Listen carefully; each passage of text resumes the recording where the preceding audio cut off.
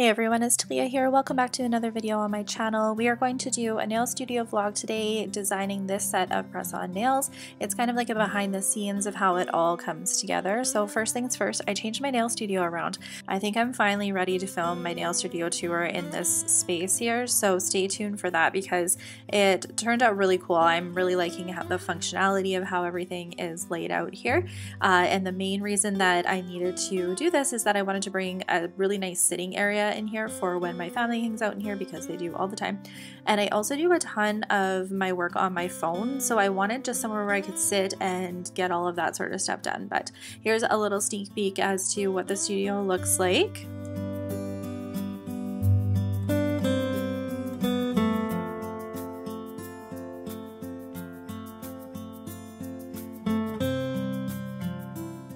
If you watched my most recent video, it was an unboxing of this DK Beauty order. We go through some really cool products in that video.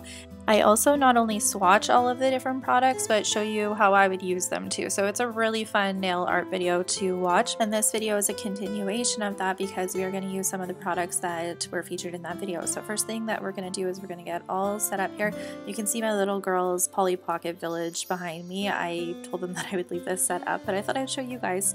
A lot of these were from my childhood and then Violet got a bunch of the newer ones for her recent birthday. Brings me so much joy to see my little girls playing with them. So if you see them in the background, that's what they are. I put my gloves on and I was all ready to sit down and start filming and then I was thinking, oh yeah, you should probably pull some products. So I went to the DK Beauty website to make sure that they had the products that I was envisioning using for this nail design and I'm just gonna go and pull those ones. So I'm looking for some butterfly plates that are outlines and then I wasn't too sure if I was going to use like any sort of lace images too so I pulled just a variety of plates that I thought would work. I often get asked how I pick products for the different designs that I come up with, and this is literally it. Like, I can kind of envision what I want to do, like, in my mind, and then I just pull products that will match that vision. I don't, I honestly don't even know how to describe it. Uh, but I also like know that the vision can change. So as I'm designing here and as I'm pulling products, I'm constantly thinking of like, okay, are these color combinations going to work together? Are they not going to work together?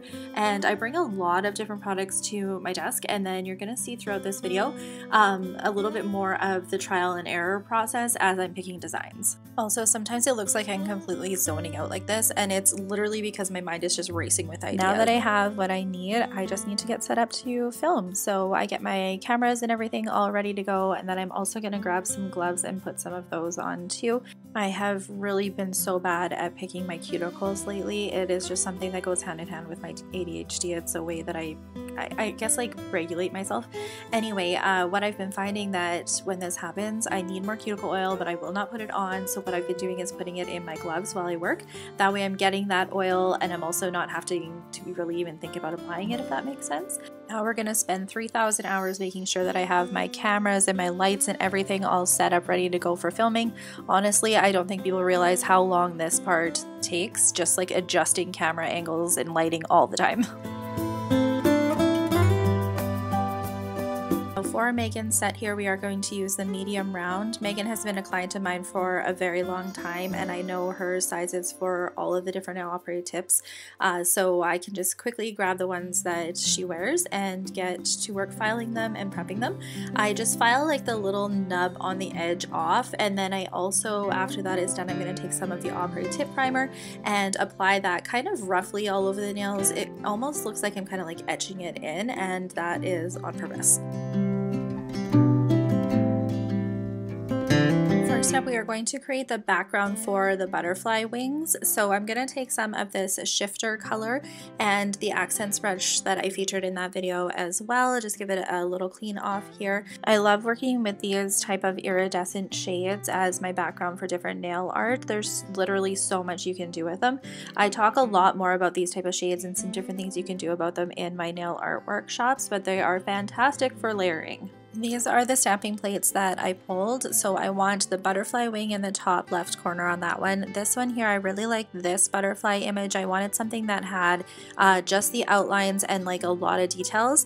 And I wanted uh, some butterflies in some really small sizes. This lace one, I wasn't too sure if I was actually going to use, uh, but I pulled it just in case. Now I wanted to go for a stained glass look in this nail design and I wanted to show you a way that you can use alcohol inks to make your own glass gels. So just take some some of your whatever gel you want to use and drop some alcohol inks into it. And if you've worked with the Coco and Claire ones or you have them in your collection, some of them may have dried out. Uh, this has happened to a few of mine. All you have to do is just add some alcohol back into them. And I like to put some of the mixing balls from Clear Jelly Stamper in them too, and then give them like a really good shake to bring that pigment back. These alcohol inks are some of the most pigmented ones that I have used, so I really love working with them. There is a lot that you can do with them, uh, even though I do find that you have to add alcohol to them every once in a while to bring back that consistency.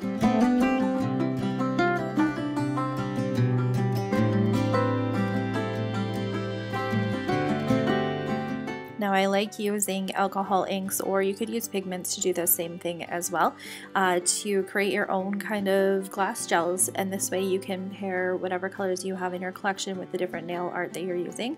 Uh, side note this Coco and Claire one here it is like a metallic orange. It is beautiful. I absolutely love this one. It's probably one of my top alcohol inks from Coco and Claire and this one, this rose gold one too.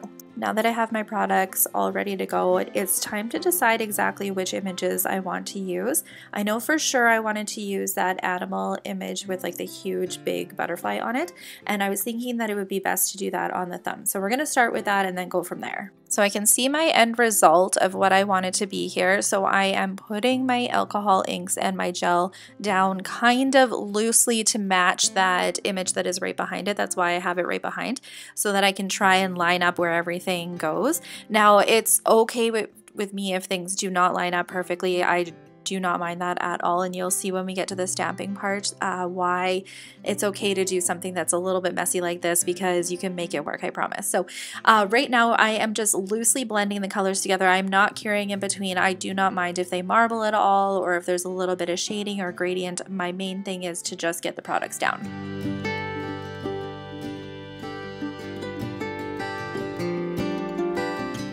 Now, after I had that nail done, I was trying to decide, okay, what do you want to do with the rest of the nails? So I just swatched down a couple different shades of some of the Luxio gel polishes that I had. And then I took this gel bottle, uh, the green one that I featured in that bottle, I believe it's called Mint. And I am just lining them all up here to see, okay, which one do you like better? And I knew I didn't like this one.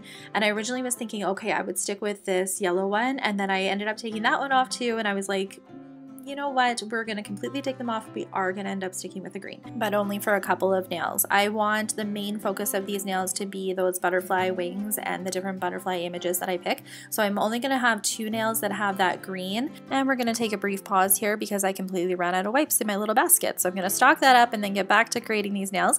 The other two nails, I'm to go in with that pink iridescent color from Akzentz as well. I wanted this one to be the background for different butterfly images so that when I stamp on top of them, uh, you're going to see this really pretty pink shimmer. So you can see, sometimes it takes me a while to figure out what color is going to go on each nail, and sometimes it takes some trial and error. Uh, but I did go back in and do another nail with this green shade too, and then one more nail with the pink cove. On the two nails that have that pink cove color, we are going to loosely lay out where I want the butterflies to be uh, using some ga gas gel, glass gel here. Uh, so again, I don't mind if some of the color is marble and I don't mind if it's not completely perfect as to where I'm going to line the stamping up. My main goal here is to just get my product on the nail here.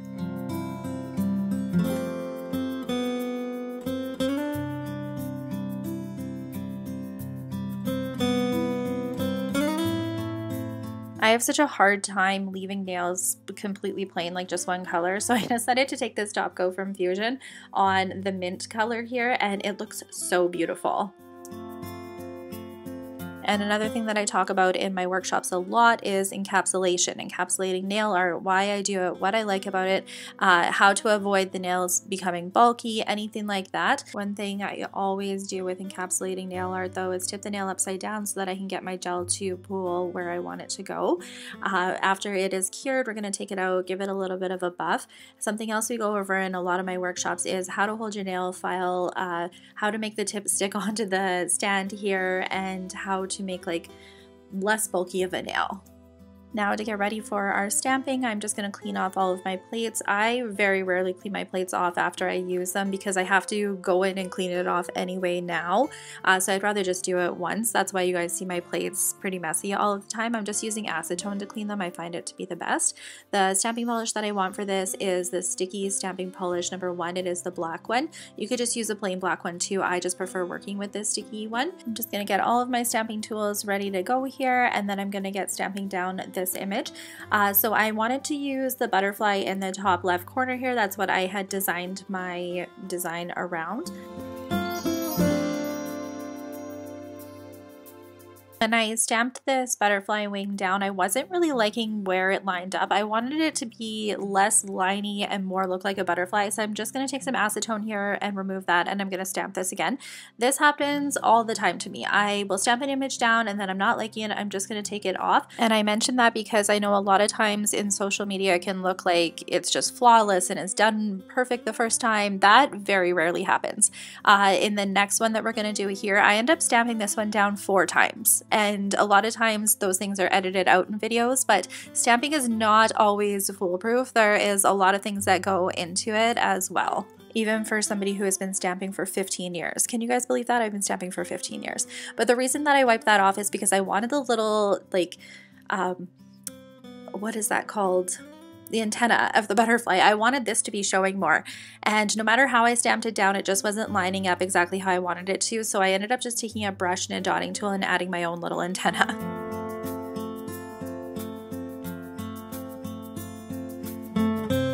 Now I decided to go in and add some florals here. As you can see that image didn't pull and I will very rarely wipe something off. If I can make it work to try it again, I will try that first before I wipe anything off, which is what you guys saw there.